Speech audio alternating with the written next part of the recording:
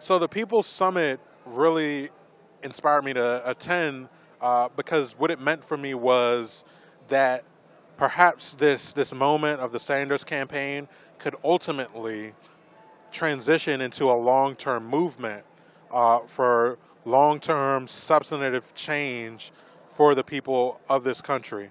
And so I'm hoping that this this summit here will lead towards long-term action and, and, continuing the political revolution. And so that's what I'm seeing here today, and I'm I'm very happy with it.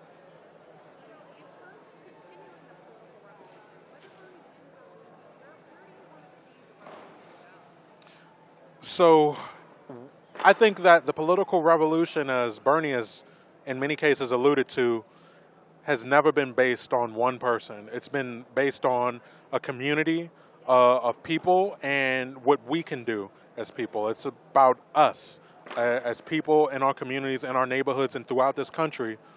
How can we change our communities?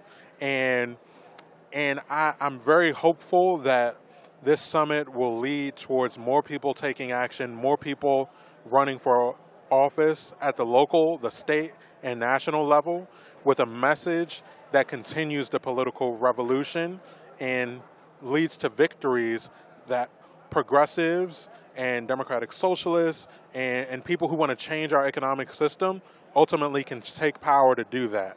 And so that's you know that's what I hope to see in a continuation of the political revolution and that's it.